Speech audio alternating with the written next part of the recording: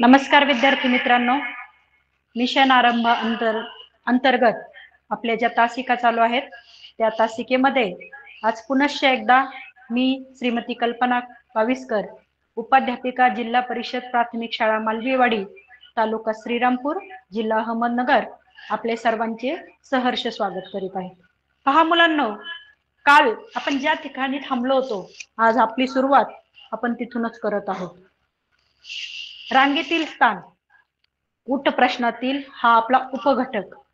कालच्या तासिकेला आपण रांगेतील स्थानातील अतिशय छोट्या छोट्या घटकांवर अभ्यास केलेला आहे. आणि या छोट्या छोट्या घटकांचा अभ्यास करून त्यावर आधारित प्रश्न कसे सोडवायचे? तर काल काही प्रश्नांचा सराव आपण केला होता. आणि आता आपण पुढील प्रश्नांचा सराव करीत आहोत. जास्त वेळ न दवडता आपण पुढील प्रश्नास सुरुवात करीत आहोत. तर पहा मुलांना काल आपण दोन हजार अठरा एकोणावीस वीस पर्यंतचे प्रश्न पाहिले होते. आता पुढील प्रश्न आहे सर सन दोन हजार एकवीस साली आलेला. प्रश्न काय आहे बघा? रांगेत मध्यभागी एकोणावीसाव्या क्रमांकावर अक्षय उभा आहे. जर रांगेतील शेवटचे आठ विद्यार्थी निघून गेले तर सुरुवातीपासून नवव्या क्रमांकावरील प्रसन्नचा शेवटचा कितवा क्रमांक असेल. पहा आपल्याला प्रश्न सोडवताना अतिशय काळजीपूर्वक प्रश्न वाचायचा आहे. तर काय सांगितलंय? आधी आपल्याला काय काय दिलं ते आपण पाहूया. रांगेत मध्यभागी एकोणावीसाव्या क्रमांकावर कोण उभा आहे? अक्षय उभा आहे. आणि जर रांगेतील शेवटचे आठ विद्यार्थी निघून गेले तर मग आता काय विचारलं? सुरुवातीपासून नवव्या क्रमांकावरील प्रसन्न याचा शेवटून कितवा क्रमांक आहे. तर कालच तुम्हाला सांगितलं की प्रश्न मोठा असतो. त्याचे आपल्याला छोटे छोटे तुकडे करायचे असतात. तर पाहूया बघा. आधी आपण रांग काढूया. बरोबर? ही आहे रांग. रांगेची इथून सुरुवात झाली. असं समजूया. रांगेत मध्यभागी एकोणावीसाव्या क्रमांकावर. ह्या आहे मिडल बरोबर? या एकोणावीसाव्या क्रमांकावर हा आहे त्याचा एकोणावीसावा क्रमांक. एकोणावीसाव्या क्रमांकावर कोण उभा आहे? अक्षय. बरोबर? आणि जर रांगेतील शेवटचे आठ विद्यार्थी आता बघा मध्यभागी एकोणावीसावा क्रमांक म्हणजे इकडे किती विद्यार्थी आहे? अठरा. इकडे किती विद्यार्थी आहेत? अठरा. आणि त्यांनी काय सांगितलं? की शेवटचे आठ विद्यार्थी कमी केले. शेवटचे आठ कमी केले म्हणजे अठरा वजा आठ. म्हणजे किती? किती विद्यार्थी राहिले इकडे? दहा विद्यार्थी राहिले. शेवटचे हे जे आठ विद्यार्थी आहेत हे काय केले? कमी केले. म्हणजे इकडे दहा विद्यार्थी राहिले. मग आता रांगेत विद्यार्थी किती राहिले बघा? अठरा दहा अठ्ठावीस आणि अक्षय एक एकोणतीस. किती विद्यार्थी राहिले रांगेत? एकोणतीस विद्यार्थी. आता हे एवढी माहिती आपल्याला प्रश्नात दिलेली आहे. आता पुढे काय विचारलं? सुरुवातीपासून नवव्या क्रमांकावरील प्रसन्न बरोबर? सुरुवातीपासून कितव्या क्रमांकावर? नववा क्रमांक. कुणाचा आहे? प्रसन्नाचा. ह्या प्रसन्नाचा शेवटून कितवा क्रमांक असेल? आता मला सांगा रांगेत किती विद्यार्थी उरले आपले? एकोणतीस. बरोबर? एकोणतीस आहे आणि प्रसन्नाचा नववा क्रमांक आहे. म्हणजे प्रसन्न नंतर किती मुलं आहेत बरं? एकोणतीस वजा नऊ. म्हणजेच किती? वीस विद्यार्थी आहेत. म्हणजे इथे वीस विद्यार्थी आहेत. आणि मग त्याचा शेवटून कितवा क्रमांक येईल? हा वीस आणि हा एक एकविसावा. पहा. पर्याय आहे का आपला? पहिला आहे वीस दुसरा एकोणावीस तिसरा एकोणतीस आणि चौथा पर्याय आपला एकवीस. काय केलं? पुनश्च एकदा समजून सांगते तुम्हाला. ही रांग आहे. या रांगेत मध्यभागी अक्षय उभा आहे. अक्षयचा एकोणावीसावा क्रमांक आहे म्हणजे त्याच्या उजव्या बाजूला अठरा विद्यार्थी आणि डाव्या बाजूला अठरा विद्यार्थी आहे बरोबर? आपल्याला काय सांगितलं? शेवटचे आठ विद्यार्थी निघून गेले. म्हणजेच उजव्या बाजूचे बरोबर? अठरा मधून आठ गेले म्हणजे किती विद्यार्थी राहिले? अठरा मधून आठ गेले म्हणजे दहा विद्यार्थी राहिले बरोबर? आणि मग उजव्या बाजूला दहा डाव्या बाजूला अठरा अठरा दहा अठ्ठावीस आणि स्वतः अक्षय एक. असे किती विद्यार्थी झाले? एकोणतीस विद्यार्थी बरोबर? आता या एकोणतीस विद्यार्थी ही आपली दिलेली माहिती. आणि पुढे त्यांनी काय विचारलं? सुरुवातीपासून नवव्या क्रमांकावरील प्रसन्न. तर हा सुरुवातीपासून नवव्या क्रमांकावर कोण आहे? प्रसन्न. ह्या प्रसन्नाचा मागून नंबर विचारला. आता एकूण विद्यार्थी किती आहे आपले? एकोणतीस. म्हणजे जर इकडे नऊ विद्यार्थी असतील तर प्रसन्नच्या उजव्या बाजूला किती विद्यार्थी उरले? वीस विद्यार्थी. त्याच्या मागून वीस म्हणजे प्रसन्न शेवटून एकविसावा आहे. आलं का लक्षात? गणित खूप सोपं आहे परंतु एकात एक एकात एक असे छोटे छोटे घटक सब प्रश्न एकत्र केल्यामुळे ते गणित थोडं किचकट वाटत आहे. तुम्हाला जर सर्वांना हवा असेल तर तुम्ही सर्वजण याचा स्क्रीनशॉट घेऊ शकता. आपण सर्वांनी स्क्रीनशॉट घेतला असं मी गृहित धरते. त्यानंतर आपण पुढील प्रश्नाकडे वळूया. आता दोन हजार तेवीस सालचा प्रश्न. हा पहा सोपा आहे. तुम्हाला माहिती आहे की पेपरमध्ये आपल्याला तीस टक्के सोपे चाळीस टक्के मध्यम आणि तीस टक्के कठीण प्रश्न असतात. तर हा सोप्या प्रश्नामधला प्रश्न आहे. प्रश्न वाचूया आपण. प्रश्न काय आहे? एका रांगेत विहानचा डावीकडून तेविसावा व सोनलचा उजवीकडून पंधरावा क्रमांक आहे. दोघांच्या दरम्यान चार मुले असल्यास त्या रांगेत एकूण किती मुले आहेत? एकदम सोपा प्रश्न आहे. थोडा वेळ देते मी तुम्हाला. तुम्ही सर्वांनी पटकन एका मिनिटाच्या आत सोडवायचं आहे. बघा बरं प्रयत्न करून.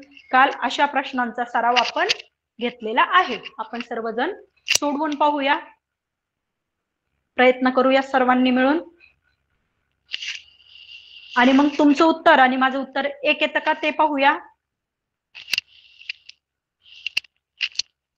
चला आपण प्रश्नाकडे बघूया. आता काय सांगितलंय बघा प्रश्नात?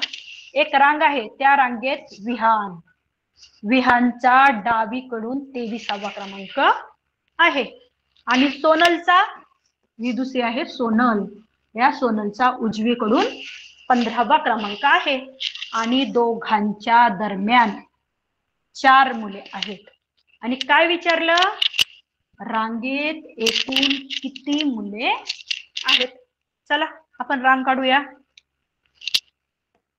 ही आहे आपली रांग पहा तोंडी प्रश्न सोडवण्याचे प्रयत्न बरेच मुलं करतात पण तोंडी प्रश्न कधी सोडवायचा नाही. कारण काय होतं कधी कधी आपल्या चुका होण्याच्या दाट शक्यता असतात. त्यामुळे हा प्रश्न कधी पण प्रॅक्टिकली सोडवायचा असतो. ही आहे रांग आपली उजवी बाजू म्हणजे रांगेची उजवी बाजू. आपली डावी बाजू म्हणजे रांगेची डावी बाजू. काय सांगितलं? विहांचा डावीकडून तेविसावा.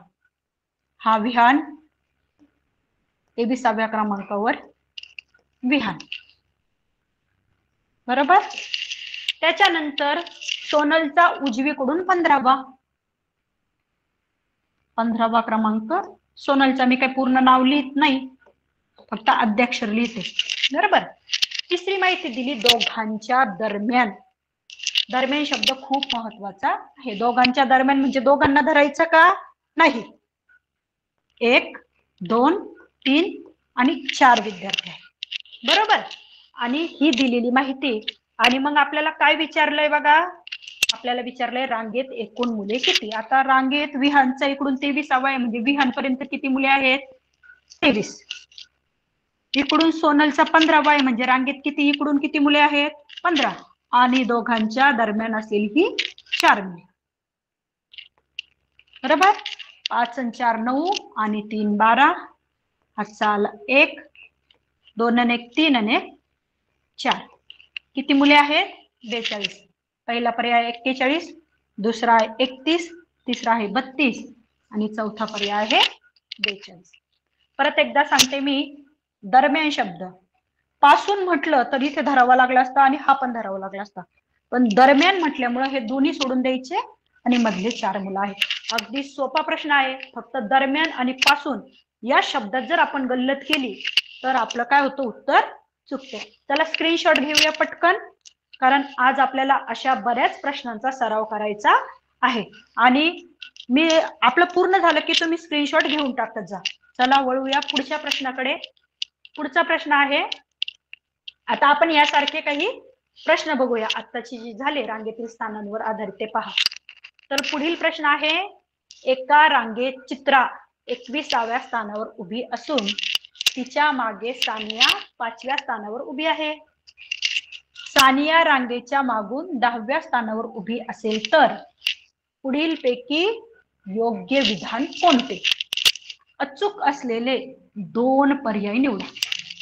पहा काय काय माहिती दिली? एका रांगेत चला परत एकदा रांग काढून घेऊया आपली. या आहे आपली रांग. या रांगेत चित्रा एकविसाव्या स्थानावर उभी आहे. ही आहे आपली चित्रा. तिचं स्थान किती आहे एकविसावं. बरोबर? उभी असून तिच्यामागे सानिया पाचव्या स्थानावर आहे. पहिलं दुसरं तिसरं चौथं आणि पाचव्या स्थानावर सानिया आहे. म्हणजे तिचा तिचा क्रमांक कितवा झाला? एकवीस बावीस तेवीस चोवीस पंचवीस आणि सव्वीसावा. बरोबर? सानियाचा रांगेच्या मागून दहावा क्रमांक आहे. मागून दहावा क्रमांक आहे. म्हणजे सानियाच्या आधी किती मुले आहेत? नऊ मुले आहेत. बरोबर? म्हणजे हे सव्वीस अधिक नऊ. बरोबर? रांगेत किती मुले झालीत? पस्तीस.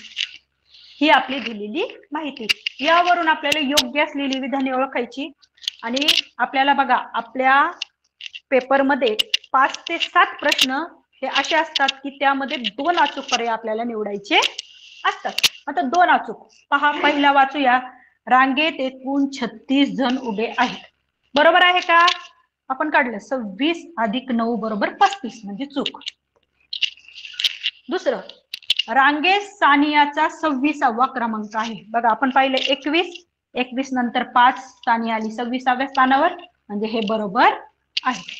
पुढचं चित्रा मागून सोळाव्या स्थानावर उभी आहे. आता चित्राचा पुढून एकविसावा आहे. मागून कितवा आहे? आता बघा. हे नऊ दहा अकरा बारा तेरा चौदा आणि पंधरा. कितव्या स्थानावर आहे? मागून पंधरावा. बरोबर? आणि त्यांनी काय सांगितलं? सोळाव्या स्थानावर. म्हणजे हे काय झालं? चूक. आणि चौथा पर्याय आहे. रांगेत एकूण पस्तीस जण उभे आहेत. बरोबर आहे ना? पस्तीस काढलेत ना आपण? बरोबर.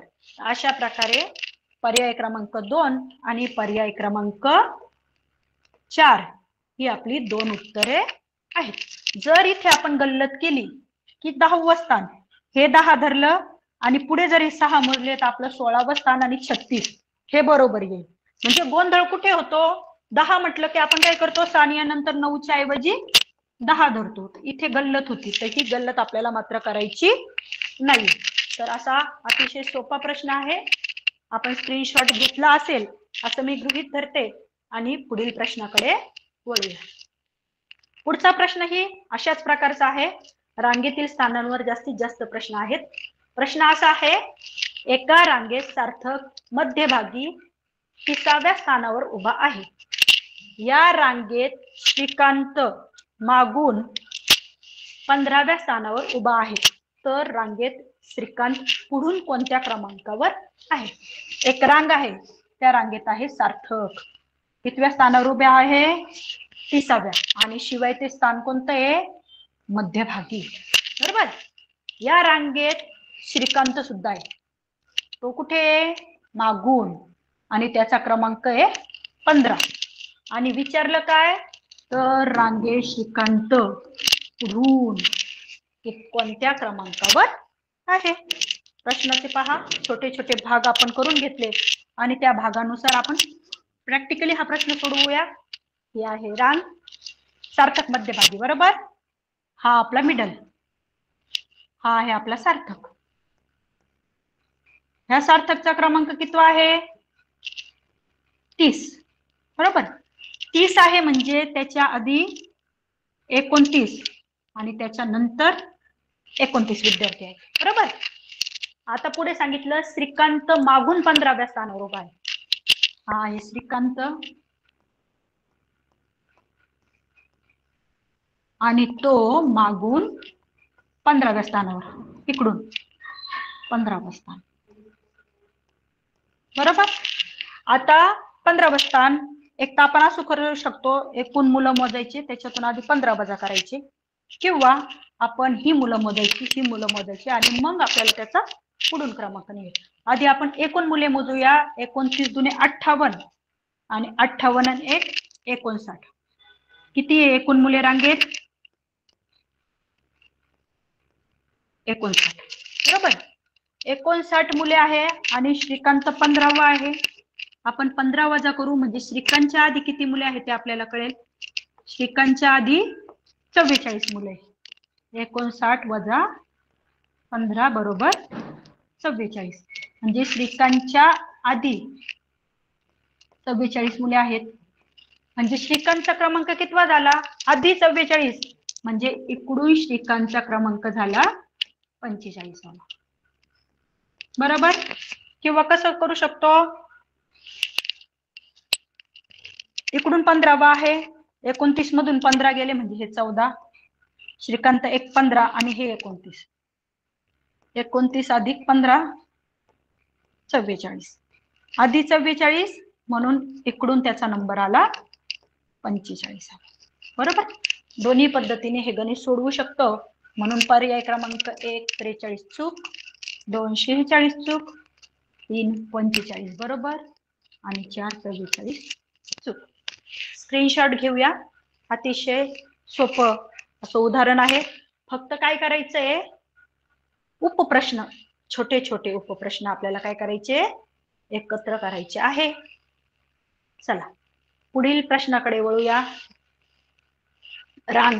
आपल्या दैनंदिन जीवनातील भाग आहे का नाही? रोजच असतो आणि अशा या रांगेतील स्थानावर जर प्रश्न आले तर ते प्रश्नाचे मार्क मात्र आपल्या हातातून जाता कामा नाही.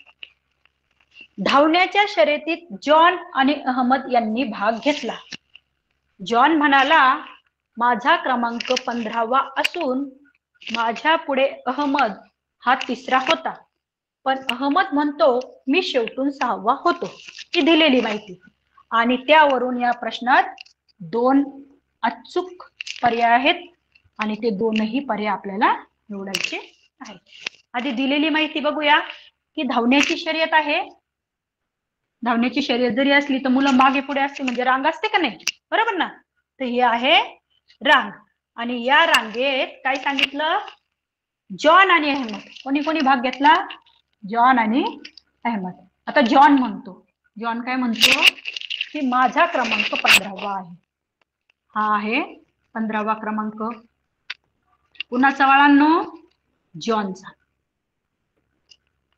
जॉनचा हा पंधरावा क्रमांक आहे आणि तो म्हणतो माझ्या पुढे. बरोबर? माझ्या पुढे म्हणजे कुठे? जर ते या दिशेने पळत असतील. बरोबर? या दिशेने पळत असतील तर पुढे. एक दोन तीन. बरोबर? माझ्या पुढे अहमद तिसरा आहे. म्हणजे कितवा? आपण जर या दिशेने पळतोय तर पुढे असणारी मुलं कमी होत जातील. बघा. पळण्याच्या शर्यतीत मागे नाही म्हटलं तर पुढे म्हटलं म्हणजे चौदा तेरा बारा. बरोबर? आणि अहमद हा तिसरा होता. अहमद म्हणतो की मी शेवटून सहावा आहे. अहमद काय म्हणतो? मी शेवटून सहावा आहे. सॉरी थोडस चुकलंय. बघू आपण. ही आहे आपली रांग. ह्या रांगेत रांगेतील स्थाने पण पंधराव्या स्थानावर. अहमद उभा आहे.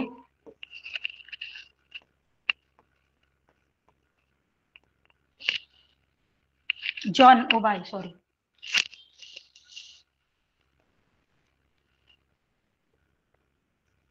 पंधराव्या स्थानावर जॉन उभा आहे. याच्यापुढे जे एक दोन आणि तीन. बाराव्या क्रमांकावर कोण आहे? अहमद आहे तिसरा. आणि अहमद म्हणतो माझा शेवटून सहावा क्रमांक आहे बघा. पहिला दुसरा तिसरा चौथा पाचवा आणि सहावा क्रमांक. हा त्याचा शेवटून सहावा आहे. हा शेवट आहे. ही आपली दिलेली माहिती. मग आता जर पंधरा पंधरा नंतर हा सोळा आणि हा झाला सतरा. म्हणजे एकूण किती स्पर्धक आहेत? सतरा. बरोबर? आता बघा. त्या स्पर्धेत सतरा स्पर्धक होते. बरोबर? अहमदचं स्थान अकरावं आहे. आपण पाहिलं पंधरा आहे ना? चौदा तेरा आणि बारा. बारा वय म्हणजे अकरा वय येईल का? नाही. शेवटून तिसरा स्पर्धक जॉन होता. पहिला दुसरा आणि तिसरा. शेवटून तिसरा स्पर्धक जॉन होता. बरोबर? मधल्या स्पर्धकाचा क्रमांक आठवा आहे. आता जर रांगेत सतरा मुलं असतील तर मधल्या क्रमांकाचं सूत्र काय आहे? एकूण स्पर्धक अधिक एक भागिले दोन. म्हणजे सतरा म्हणजे अठरा भागिले दोन. बरोबर? नऊ. म्हणजे मधल्या मुलाचा क्रमांक येईल नववा. बरोबर? आणि त्यांनी काय सांगितलं? मधल्या मुलाचा आठवा क्रमांक आहे. म्हणजे हे पण विधान काय आहे? चुकीचं आहे. आणि म्हणून अचूक. अचूक म्हणजे काय? चूक नसणार. बरोबर. पर्याय क्रमांक एक आणि तीन आपले. बरोबर? आहेत. स्क्रीनशॉट घ्या. आपण स्क्रीनशॉट घेतला असेल. पुढे पाहूया. पुढचा प्रश्न असाच आहे थोड्या वेगळ्या पद्धतीचा आहे बघा. आणि सोपा आहे. एका रांगेचे दोन व्यक्ती तीन व्यक्ती दोन व्यक्ती तीन व्यक्ती या क्रमाने आठ भाग केले तर. ही दिलेली माहिती इथपर्यंत. पाचव्या भागातील पहिली व्यक्ती व तिसऱ्या भागातील दुसरी व्यक्ती. यांच्या दरम्यान किती व्यक्ती आहेत? पहा परत काही महत्त्वाचे जे शब्द आहेत ते शब्द आधी बघूयात. की एका रांगेचे दोन भाग तीन व्यक्ती दोन व्यक्ती आणि तीन व्यक्ती. बरोबर? ही आहे आपली रांग बरोबर? आधी दोन एक भाग केला. नंतर तीन दुसरा भाग केला. परत दोन तिसरा भाग केला. परत तीन. चौथा भाग केला. बरोबर? असे आठ भाग केले. आता हे चार झाले. परत आठ करूया आपण. दोन तीन दोन तीन. असे आठ भाग केले. या आठ भाग केल्यानंतर त्यांनी काय सांगितलं? की पाचव्या भागातील हा पहिला भाग हा दुसरा हा तिसरा हा चौथा हा पाचवा हा सहावा हा सातवा आणि हा आठवा. पाचव्या भागातील पहिली व्यक्ती हा पाचव्या भागातील ही पहिली व्यक्ती बरोबर? आणि दुसरं काय म्हटलं? पाचव्या भागातील पहिली व्यक्ती. आणि तिसऱ्या भागातील दुसरी व्यक्ती हा तिसरा भाग. आणि त्यातील ही दुसरी व्यक्ती. आणि यांच्या दरम्यान परत शब्द बघा. दरम्यान म्हणजे ह्या दोघांना धरायचं का? नाही. पासून नाही विचारलं. पासून विचारलं का आपण ते पकडलं असतं. दरम्यान मग ह्या दोघांच्या दरम्यान किती आहेत? वन टू थ्री तीन विद्यार्थी आहेत. पहा अतिशय सोपा प्रश्न आहे. प्रॅक्टिकली जर सोडवला तर पटकन आपल्याला सहज समजतो. पर्याय क्रमांक एक पाच. जर पासून असतं तर एक दोन तीन चार पाच आला असतं पण दरम्यान असल्यामुळे चूक. दुसरा चूक. तिसरा चूक. आणि चौथा पर्याय आहे तीन स्क्रीनशॉट घेऊया. आता पुढचा प्रश्न.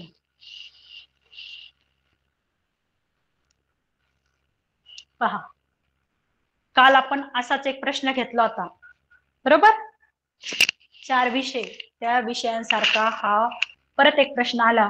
फक्त आता कसं झालं की यात आपल्याला दोन अचूक पर्याय निवडायचे आहेत. आणि पाहूया काय प्रश्न आहे? की कपड्याच्या एका दुकानात कपड्याच्या एका दुकानात लाल निळा पिवळा हिरवा या क्रमाने रंग असलेले एकशे पस्तीस कपडे रचून ठेवले आहेत. तर पुढील पैकी कोणते विधान योग्य असेल? कपड्याचं दुकान आहे लाल निळा पिवळा आणि हिरवा. पहा. लाल. लालचा क्रमांक किती? काल पाहिला होता आपण. एक. निळा. क्रमांक दोन. पिवळा. क्रमांक तीन आणि हिरवा. क्रमांक चार. काल तुम्हाला सांगितलं होतं मी चार असलं तर चार एक चार चार दोन आठ चार त्रिक बारा. इतकं लांब जाण्याची गरज नाही. तुम्हाला एक दुसरी सोपी पद्धत सांगितली होती मी. काय सांगितली ती भागाकार करायचा आणि भागाकार केल्यानंतर जी बाकी येईल भाज्य भाजक भागाकार याच्याशी काही संबंध नाही. जी बाकी येईल तिचा जो क्रमांक असेल त्या क्रमांकाचं तो रंग असेल. तर मग पहा दोन अचूक पर्याय निवडायचे आहे आपल्याला. पहिला आहे सत्तेचाळीसाव्या स्थानावर पिवळ्या रंगाचा कपडा असेल. कितव्या स्थानावर? सत्तेचाळीसाव्या स्थानावर पिवळ्या रंगाचा कपडा असेल. पाहूया आपण भागाकार करूया. सत्तेचाळीस. चार एक चार. सात खाली आले. चार एक चार. तीन उरले. बरोबर? बाकी तीन आहे. तीन पिवळा. बरोबर? म्हणजे हे विधान काय आहे? बरोबर आहे. सत्तेचाळीसाव्या स्थानावर पिवळ्या रंगाचं कापड असेल. दुसरं शहाण्णव. पहा कसोट्या पाठ आहे आपल्या. शहाण्णव म्हटल्याबरोबर लगेच कळतं याला चारने पूर्ण भाग जातोय. जातोय का नाही? भाग द्यायची गरज आहे का? नाही तरी पण पाहूया. चार एक चार चार दोन आठ. चार चौक सोळा. आणि मी तुम्हाला सांगितलं होतं ज्या वेळेस बाकी शून्य उरेल त्यावेळेस तो क्रमांक काय असेल? शेवटचा क्रमांक असेल. मग शेवटच्या क्रमांकाचा कोणता रंग आहे? हिरवा. म्हणजे मग शहाण्णव्या क्रमांकावर पिवळा रंग येईल का? नाही तिथं तर हिरवा रंग आहे बरोबर? म्हणजे हे विधान काय आहे? चूक आहे. तिसरं बघा चौतीसाव्या स्थानावर पिवळ्या रंगाचा कपडा असेल. चला सोडवूया. चौतीस चार आठे बत्तीस. बाकी उरली दोन. दोन रंग दोन नंबरला काय आहे? निळा. पिवळा येईल का? नाही. इथे येईल निळा. म्हणजे हा पण येणार नाही. चौथा पर्याय आहे. चौतीसावा व छत्तीसाव्या स्थानाच्या दरम्यान. आता चौतीस आणि छत्तीसच्या दरम्यान कोणतं येतं? पस्तीसावा. बरोबर? चला पस्तीसने भाग देऊया आता. पस्तीसला भाग देऊया. तेच चार आठे बत्तीस. पस्तीस मधून बत्तीस गेले बाकी उरली तीन. तीन नंबर आहे आपल्या पिवळ्याचा. म्हणजे छत्तीसाव्या स्थानाच्या दरम्यान पिवळ्या रंगाचं कापड असेल. म्हणजेच पर्याय क्रमांक एक व पर्याय क्रमांक चार हे आपलं उत्तर आहे. आलं का लक्षात? अतिशय सोपा आहे. अशा प्रकारचा प्रश्न आला की आपण भागाकार करून बाकीवरून या प्रश्नाचं उत्तर काढू शकतो. स्क्रीनशॉट घेतला? ओके पुढे जाऊया. पुढचा प्रश्न बघा. आता थोडासा वेगळ्या टाईप प्रश्नांचा सुरू केलेला आहे. की एका सभागृहात चौरसाकृती खुर्च्या मांडल्या. एक लक्षात ठेवायचं. चौरस म्हटलं की वर्गसंख्येचा कुठंतरी संबंध आहे तर ही गोष्ट डोक्यात घेऊन टाकायची. कारण रांगा आणि चौरस म्हटलं की जितक्या रांगा तितकी मुलं. तर खुर्च्या मांडल्यात एक मुलगी सभागृहाच्या मध्यभागी असणाऱ्या खुर्चीवर बसली आहे. त्याच रांगेत तिच्या डाव्या व उजव्या बाजूला प्रत्येकी तीन मुले बसली आहेत. तर पहा काय महत्त्व काय आहे? चौरसाकृती आहे बरोबर? या चौरसाकृती खुर्चीवर एक मुलगी सभागृहाच्या मध्यभागी. पहा ही मध्यभाग. आणि तिच्या डाव्या बाजूला आणि उजव्या बाजूला. ही मध्यभागी आहे. तिच्या डाव्या बाजूला उजव्या बाजूला तीन मुले आहेत. इकडे तीन इकडे तीन. यावरून आपल्याला एका रांगेतील मुलं कळतील बरोबर? एका रांगेत किती मुलं आहेत? तीन आणि तीन सहा एक सात. म्हणजे रांगेत सात मुलं म्हटलं रांगा पण किती झाल्या? सात. एक दोन तीन एक दोन आणि तीन. मग याचा अर्थ काय येईल? सातचा वर्ग. पहा आता हे गणित सोडवताना एवढं गणित नाही केलं तरी चालत पण तरी मी सांगते सातचा वर्ग बरोबर एकोणपन्नास. बरोबर? कितवा पर्याय? पहिला छत्तीस दुसरा एकोणपन्नास तिसरा तेरा चौथा बेचाळीस. म्हणजे पर्याय क्रमांक दोन. आणि सोडवण्याची गरज का नाही तेही मी तुम्हाला सांगते. की जेव्हा चौरस आकृती दिलं म्हणजे जेवढी मुलं तेवढी रांगा. म्हणजे एकूण मुलं म्हणजे वर्गसंख्या. मग आता याच्यात वर्गसंख्या कोणते नाहीत.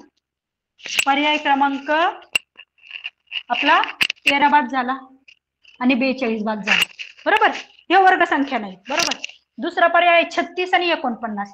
आता जर मध्यभागी विचारले मुलगी मध्यभागी आहे म्हणजे छत्तीसचं वर्गमूळ सहा आणि एकोणपन्नासचं वर्गमूळ आहे सात. मग मला सांगा बरं जर मध्यभागी तर सहा मुलं असतील का एका रांगेत? नाही म्हणजे हा पण पर्याय बाद झाला. आणि उरला हा. म्हणजे हे गणित सोडवायची सुद्धा गरज नाही. फक्त थोडस जर विचार केला तर आपल्याला सहज या प्रश्नाचं उत्तर मिळते सोपा आहे? चला पुढील प्रश्नाकडे वळूया. पुढील प्रश्न आहे बघा. त्याच पद्धतीचा. मोटारीच्या एका कारखान्यात एके दिवशी जेवढ्या मोटारी एका रांगेत होत्या तेवढ्याच मोटारीच्या रांगा होत्या. जेवढ्या मोटारी एका रांगेत बरोबर? जेवढ्या मोटारी एका रांगेत आहेत तेवढ्याच मोटारीच्या काय आहेत? रांगा आहेत. जेवढ्या मोटारी एका रांगेत तेवढ्याच मोटारी आहेत. बरोबर? आणि काय सांगितलंय? की तेवढ्याच मोटारीच्या रांगा होत्या. प्रत्येक मोटारीसाठी दोन याप्रमाणे बाराशे पन्नास कामगार एक हजार दोनशे पन्नास कामगार या मोटारीचे काम करीत असल्यास पुढील पैकी कोणते विधान योग्य आहे? अचूक दोन पर्यंत पहा काय सांगितलं? एका मोटारीसाठी दोन. कामगार किती आहेत? बाराशे पन्नास भागिले दोन. बेसक बारा. हे दोन्ही चार एक उरला बे पंचे दहा. सहाशे पंचवीस मोटारी झाल्या. बरोबर? एकूण सहाशे पंचवीस झाल्या. आणि मग त्यांनी काय सांगितलं? चौरस आकृती बरोबर? जेवढ्या रांगेत मोटारी आहेत तेवढ्याच रांगा आहेत. म्हणजे सहाशे पंचवीसचं वर्गमूळ जर आपण काढलं तर आपल्या एका रांगेतील मोटारी मिळतील. सहाशे पंचवीसचं वर्गमूळ आहे. कशाचा वर्ग आहे? सहाशे पंचवीस. पंचवीसचा. म्हणजे एका रांगेत किती मोटारी झाल्या? एका रांगेत पंचवीस मोटारी बरोबर? आता ह्या दोन माहिती आपण काढून ठेवल्या बरोबर? आता बघा पहिलं विधान. एका रांगेत पन्नास मोटारी आहेत बरोबर आहे? चूक. एका रांगेत पंचवीस मोटारी आहेत बरोबर? तिसरं मोटारीच्या चाकांची संख्या दोन हजार पाचशे आहे. मोटारी किती आहेत? एका रांगेत पंचवीस. पण एकूण मोटारी किती आहे? सहाशे पंचवीस. बरोबर? एका मोटारीला किती चाक असतात? चार. चार चाकी वाहन आहे ना? मग पाच चोकवीस चाले दोन चार दोन आठ आणि दोन दहा हात चाल एक सहावीची चोवीस आणि एक पंचवीस. पंचवीसशे दोन हजार पाचशे. बरोबर?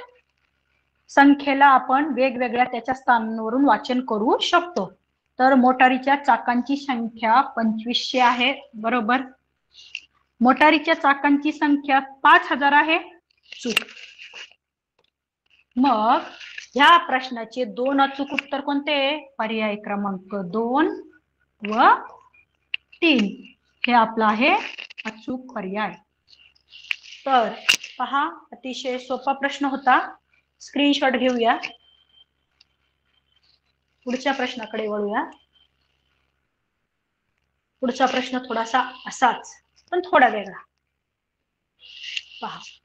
एका रांगेतील व्यक्तींना एका चौरसाच्या चार बाजूवर समान अंतरावर उभे केले. काय सांगितलं? एका चौरसाच्या चार बाजूवर. हा आहे आपला चौरस. या चौरसाच्या बाजूंवर समान अंतरावर काही व्यक्ती उभे केले बरोबर?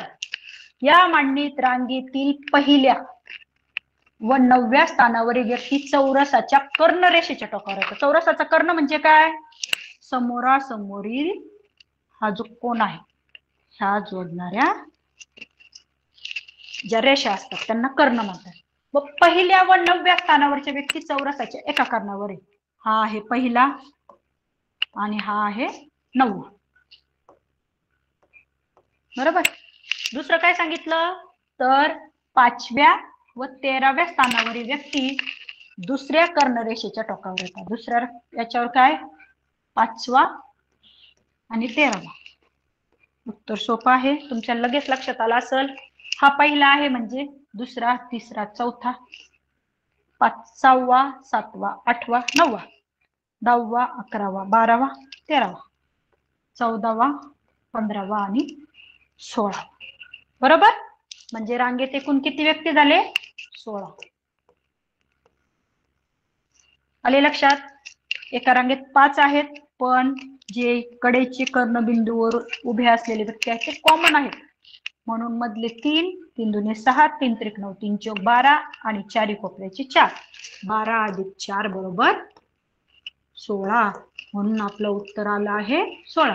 मग पर्याय क्रमांक एक अठरा येईल का? नाही. दोन वीस येईल. तीन सोळा येईल. चार चौदा येणार नाही. इथं पण एक क्लुप्ती वापरता आली असती की रेषा चार रेषा सांगितल्या. म्हणजे चारने भाग जाणार आहे. बरोबर आहे ना? अठरा गेला असतं चौदा गेला असतं. जरी गणित सोडवताना आलं तर वीस आणि सोळा पैकी एक. तर असं सोपं गणित आहे. स्क्रीनशॉट घेतलाय. ओके चला नेक्स्ट अतिशय सोपे प्रश्न. फक्त काय केलं जातं? शब्दांमध्ये त्यांना गुंतवलं जातं आणि त्यांना अवघड बनवलं जातं. बाकी काहीच नाही. तर आता हे परत आपल्याला पुढचा प्रश्न. ओके? पुढचा प्रश्न आहे पटांगणात कवायतीसाठी जमलेली मुले. उभ्या आडव्या रांगा करून उभे आहेत. प्रत्येक आडव्या रांगेत मध्यभागी. पहा. एकदम सोपा प्रश्न आहे. आता तुम्ही म्हणताल हा प्रश्न सोडवायचा कसा? पटांगणाच्या कवायतीसाठी जमलेली मुले उभ्या आडव्या रांगा आहेत. बरोबर? प्रत्येक आडव्या रांगेत मध्यभागी एक मुलगी आहे.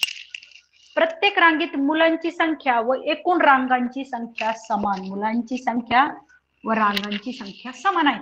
कुठेच काहीच आकडा दिलेला नाही. आता कसं सोडवायचं? बरोबर?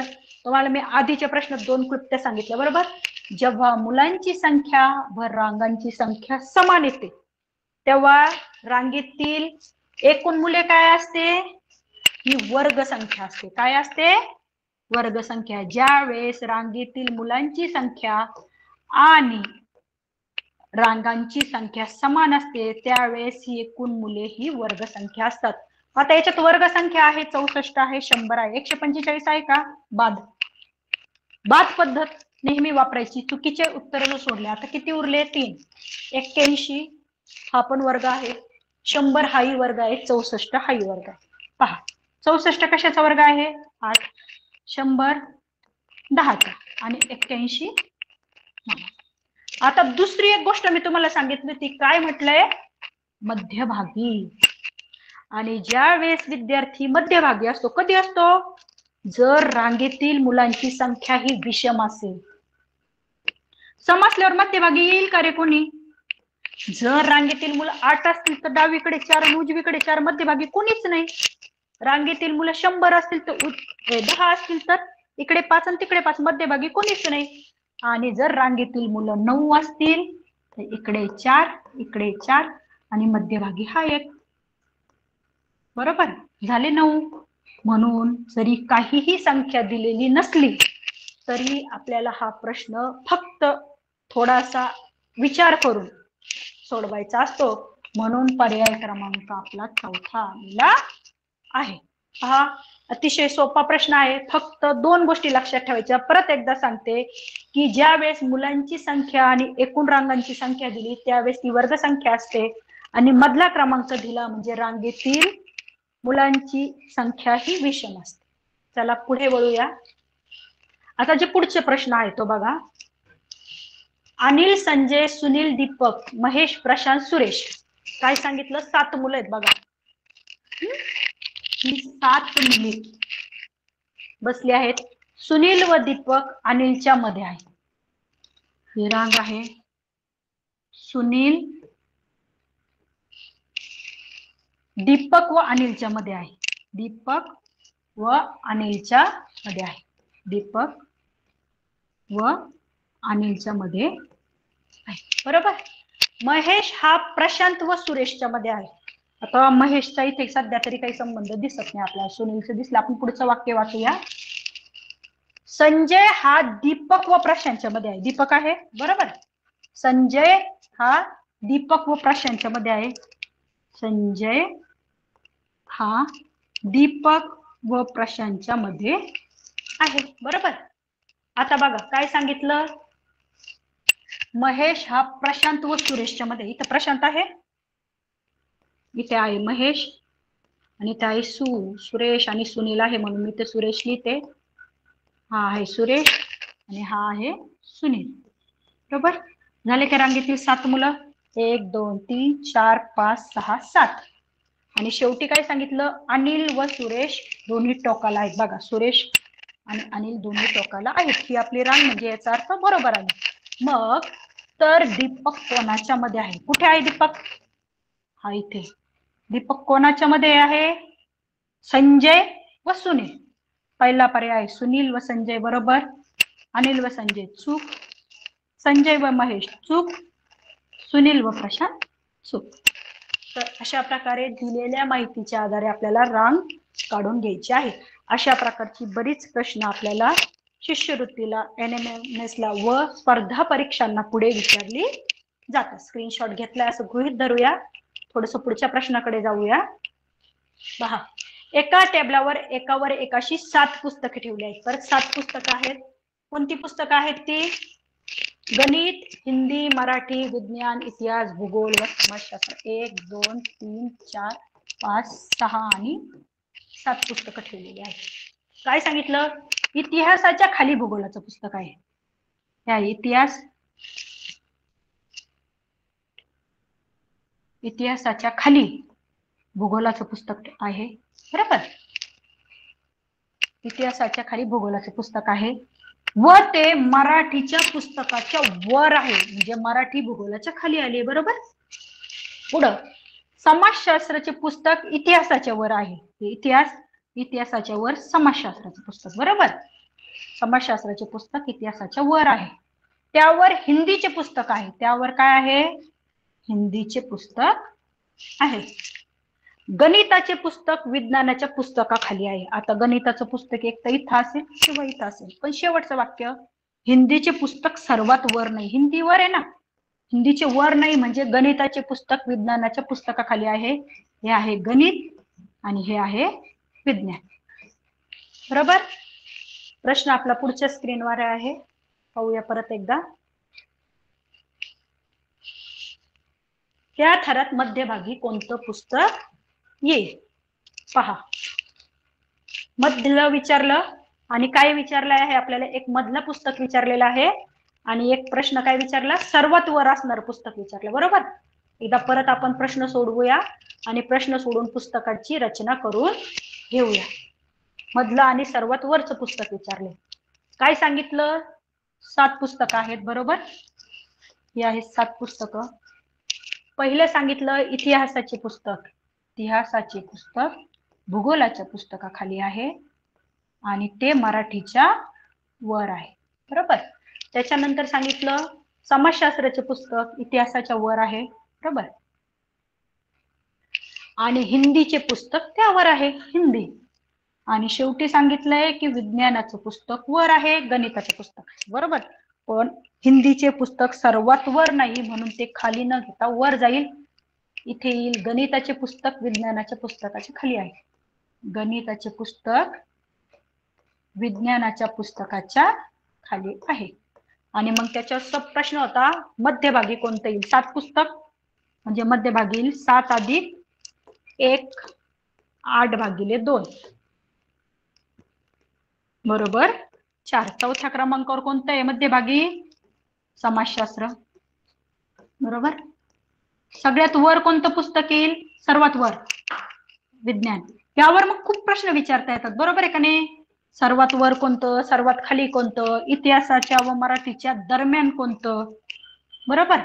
तर अशा वेगवेगळ्या प्रश्नांची उत्तरं आपल्याला या माहितीवरून द्यायची असतात. तर पुढच्या प्रश्नाकडे वळूया. पुढचा प्रश्न बघा. दोन्ही प्रश्न घेतले. मुद्दा म्हणून आता परत त्याच्यावर हे न करता आपण एकदमच प्रश्न सोडवून घेऊया बघा. हा दोन हजार वीस सालचा प्रश्न आहे बघा. स्थान म्हणजे फक्त स्थानच नसते त्याची बैठक रचना सुद्धा असते पहा. एका वर्तुळाकार मैदानाच्या कडेने अ ब कड ड ई फ ग ज. अ ब कड हे वर्तुळाकृती मैदान आहे. त्याच्यावर आठ मुले आहेत. एक दोन तीन चार पाच सहा सात आणि आठ मुले समान अंतरावर आत तोंड करून उभी आहेत. अ च्या उजव्या बाजूला ड असून समोर ई उभा आहे. वाचून घेऊया. सगळं वाचल्यानंतर आधी कुणाला उभं करायचं ते पाहूया. ब हा ज च्या उजव्या बाजूला लगत असून ग च्या समोर आहे. क समोर दक्षिणेला इथं दिशा दिली. बरोबर? म्हणून आधी आपण क आणि ड ला उभं करून घ्या. क समोर दक्षिणेला. दक्षिण कुठे आहे ना तुम्हाला? फळ्याच्या वरची उत्तर खालची दक्षिण. मग क च्या दक्षिणेला कोण उभा आहे? ड उभा आहे हा. क. बरोबर? क समोर दक्षिणेला ड उभा आहे. हे पहिलं वाक्य आपलं झालं. पण ड शेजारी फ नाही. याचा विचार आपण नंतर करू आता बघा. अ च्या उजव्या बाजूला ड. अ जर असा असेल अ च्या उजव्या बाजूला ड. हा अ. अ च्या उजव्या बाजूला ड असून समोर ई आहे. बरोबर? आता त्याच्या पुढच्या वाक्याचा. ब हा ज च्या उजव्या बाजूला लगत असून आता बघा इकडून पण दोन आहेत इकडून तीन आहेत. बरोबर? आधी आपण इकडून घेऊन पाहूया की ब हा ज च्या उजव्या बाजूला म्हणजे ज जर इथे असेल बरोबर? तर ज च्या उजव्या बाजूला इथे ज असले तर इथे ब येईल बरोबर? आणि मग ब च्या लगत असून ग च्या समोर इथे ग येईल ब च्या समोर कोण येईल ग येईल पण शेवट काय दिलेलं आहे? ड च्या शेजारी फ नाही. मग उरलेला फ कुठे येईल रे? इथे येईल. बरोबर ना? पण तो ड च्या शेजारी नकोय आपल्याला. म्हणजे हे काय झालं? हे चुकलं. आता काय करूया? हे जे दुसरं वाक्य आहे ते इकडे अप्लाय करूया. काय अप्लाय करूया? ब हा ज च्या उजव्या बाजूला आहे. हा ज ज च्या उजव्या बाजूला ब ब च्या समोर ग. आणि मग आता फ कुठे येईल? इथे येईल. बरोबर? आणि मग हे जे आतले क्रमांक आहे हे मुलांचे ठरले. आणि यावरून आपल्याला प्रश्नांची उत्तरं द्यायची. परत सांगते अशा प्रकारची प्रश्न कठीण असतात. सोडवताना आपल्याला एक वाक्य काळजीपूर्वक वाचायचं असतं. आणि त्यावरून त्यांचं स्थान ठरवायचं असतं. तर पहा ज च्या समोरील दिशा कुठे? ज कुठे? ज कुठे? इथे. बरोबर? दिशा काय माहितीये ना? आद आद न प वा वा जातो कसा? उ ई उ मग हा जर आग्नेय आहे तर आग्नेयच्या विरुद्ध दिशा काय येईल? वायव्य. म्हणून काय येईल? वायू. बरोबर? स्क्रीनशॉट घ्या. स्क्रीनशॉट घेतल्यानंतर आपण पुढचा प्रश्न सोडवूया. पहा.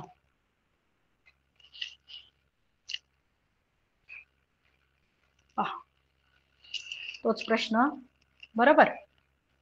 पूर्व दिशेला विचारलंय लक्षात ठेवूया. आणि मी काय करते की पुढचा प्रश्न घेऊया. तिथे जागा आहे. तिथे आपल्याला तो सोडवता येईल. सॉरी दोनच प्रश्न आहे त्याच्यावर. पूर्व दिशेला विचारलंय. आता आपण ती आकृती रिपीट करूया जी आधी होती. काय आकृती होती बघा? वर्तुळ तुम्ही काढून घेतलेली असेल बरोबर? काय आकृती ती क ड.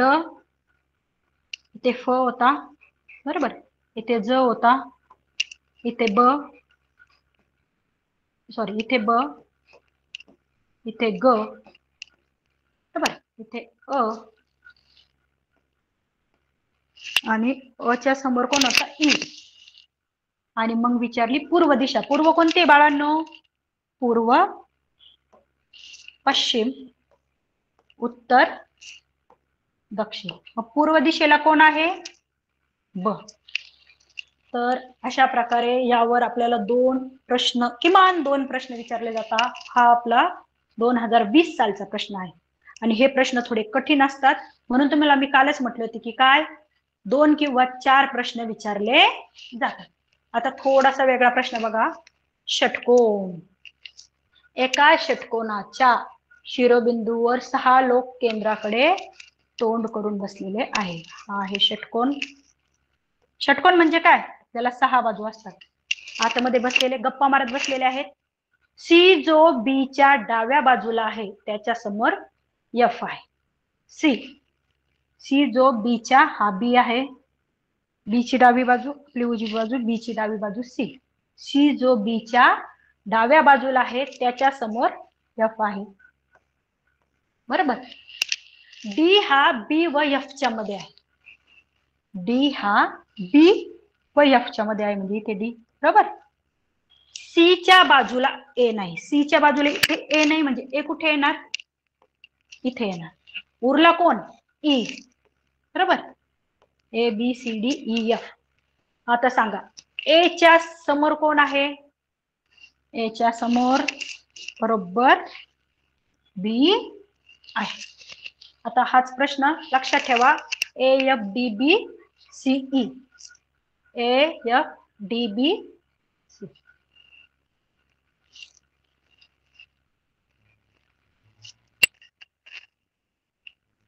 षटकोन.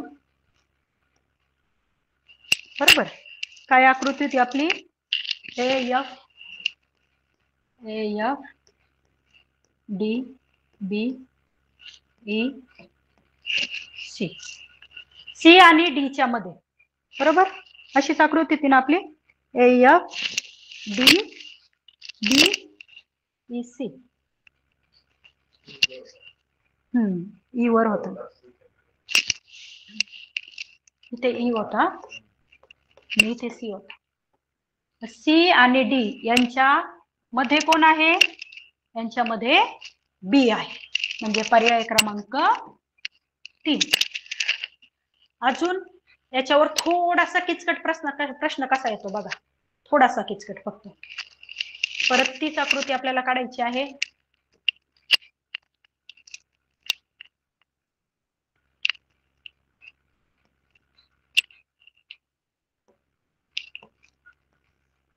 बरोबर?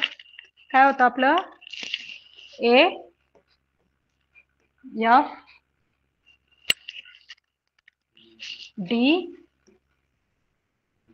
B C आणि ई. बरोबर?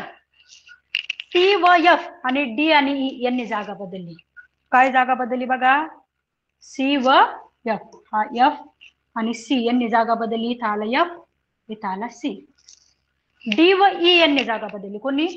डी आणि ईनी. इथं आला डी इथे आला ई.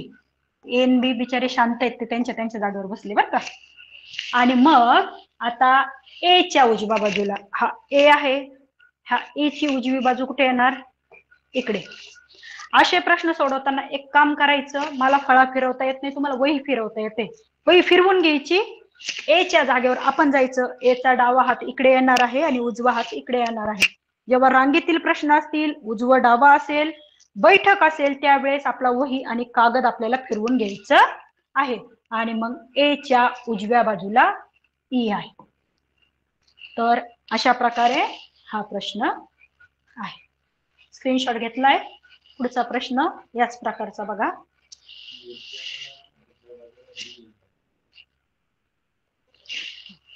एका अष्टकोनाच्या शिरोबिंदूवर उजवा बाजू इकडे. एका अष्टकोनाच्या शिरोबिंदूवर आठ जण केंद्राकडे तोंड करून बसलेले आहेत. आता अष्टकोन आहे? हे मुद्दामून सगळे प्रश्न समोर घेतले. काय होतं? आपल्याला आकृत्या परत त्या करण्यासाठी गोंधळ होतो म्हणून. एका अष्टकोनाच्या शिरोबिंदूवर आठ जण बसले आहेत. बरोबर? आणि दिलेली माहिती समोर आहे आपल्या काय? की विजयच्या समोर रमेश बसला आहे. विजयच्या समोर कोण आहे? रमेश बसला आहे. आणि श्रुती उजव्या बाजूला नाही. विजयच्या समोर रमेश बसला आहे. जो श्रुतीच्या उजव्या बाजूला नाही. आठ. एक दोन तीन चार पाच सहा सात आणि आठ.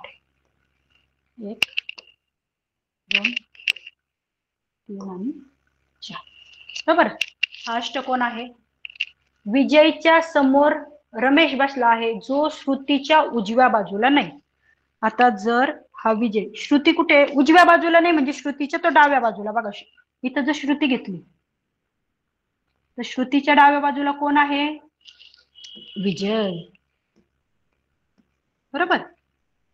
आणि काय सांगितलंय? विजयच्या समोर रमेश बसलेला आहे. बरोबर? हे झालं आपलं पहिल्या वाक्यावरून आपण केलं. श्रुतीच्या समोर श्रेय आहे. इकडे आहे श्रुती आणि इकडे आहे आपली श्रेया. बरोबर. श्रुतीच्या समोर श्रेया आहे. जी विजयीच्या उजव्या बाजूला बसली आहे. बरोबर. श्रुतीच्या समोर श्रेया आहे. जी विजयच्या उजव्या बाजूला बसली आहे. विजय व अनिता यांच्यामध्ये दीपक आहे. विजय व अनिता. आपण एकदा परत सोडवूया. पहा.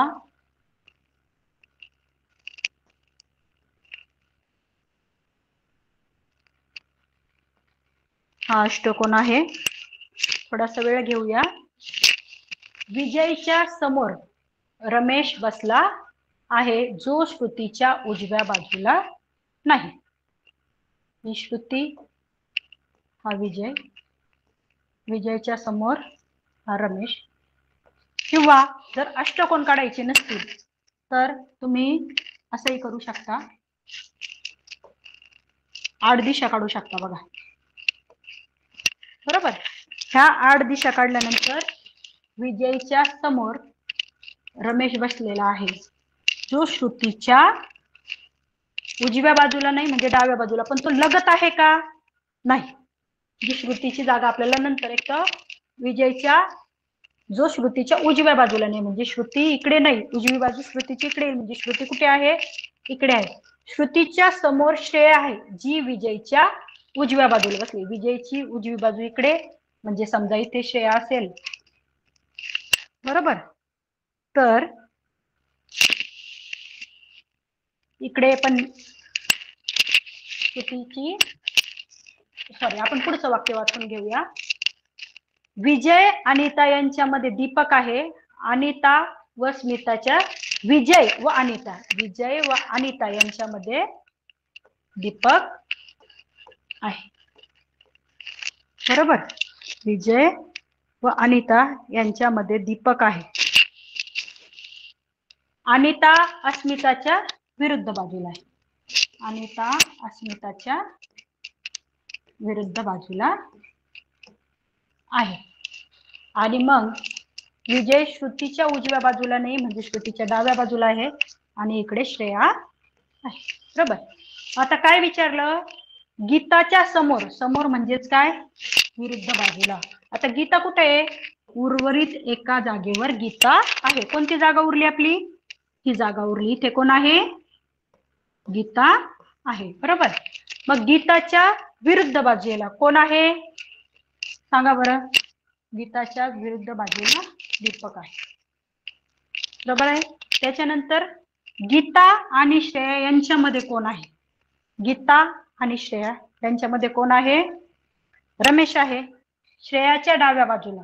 श्रेयाच्या डाव्या बाजूला सॉरी इथे श्रुती श्रेयाच्या डाव्या बाजूला ही उजवी बाजू ही डावी बाजू. ही आहे अनिता. तर पहा स्क्रीनशॉट घेऊया.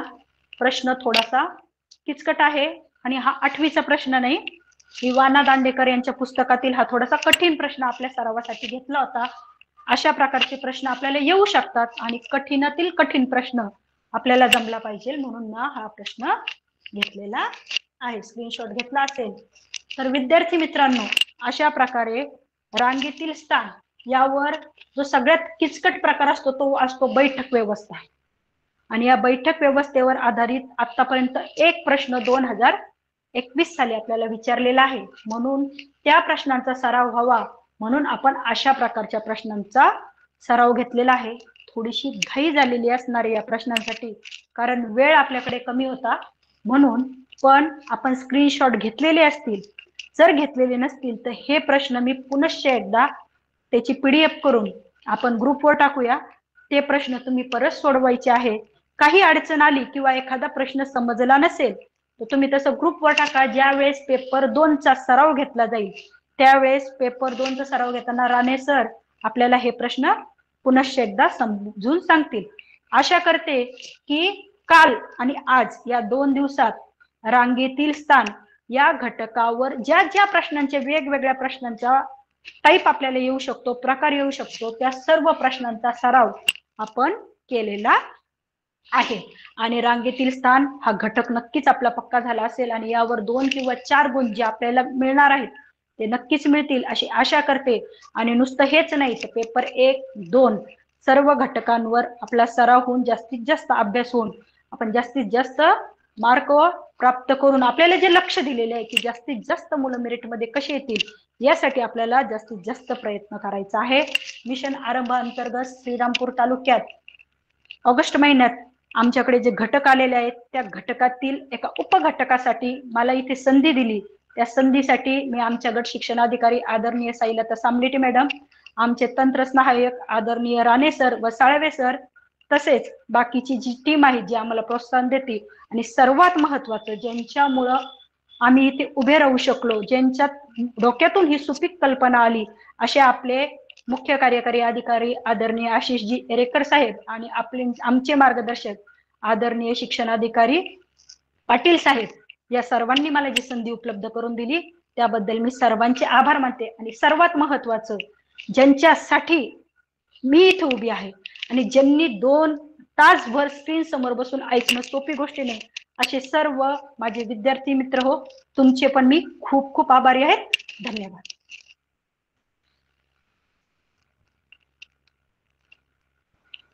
धन्यवाद मॅडम. मॅडमनी काल आणि आज आपणास कल्पना भाविस्कर मॅडम यांनी कुट प्रश्न या घटकावर विविध रंगी प्रश्न की जे तुम्हाला परीक्षेत कशाही प्रकारचे प्रश्न पडले तर ते तुम्हाला अतिशय चांगल्या प्रकारे सोडवल्या जातील. अशा सर्व प्रश्नांवर मॅडमनी खूप सखोल असं मार्गदर्शन तुम्हाला सर्व विद्यार्थ्यांना केलेलं आहे. आणि या सर्व प्रश्नांचा एक आढावा जर आपण घेतला तर या ठिकाणी सुद्धा आपणास सरावाची खूप आवश्यकता आहे. तो सराव सर्व विद्यार्थी तुम्ही करायचा आहे. हेच या प्रसंगी सांगतो आणि थांबतो. सर्वांना शुभरात्री. धन्यवाद.